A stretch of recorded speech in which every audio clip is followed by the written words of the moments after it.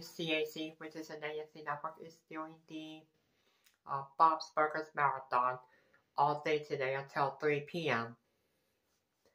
Today, what episodes of those shows of that show on the TV network channel with Brett, with Frasier, Niles, Kurt, Joey, Christopher, Chelsea, Martin, and Daphne Moon Bigelow Crane all watched part of that marathon today on that TV network channel. And while they all watched that those episodes of that show on TV network channel for dinner, for breakfast, that's not what cereal would they all get. Let me know down in the comments below.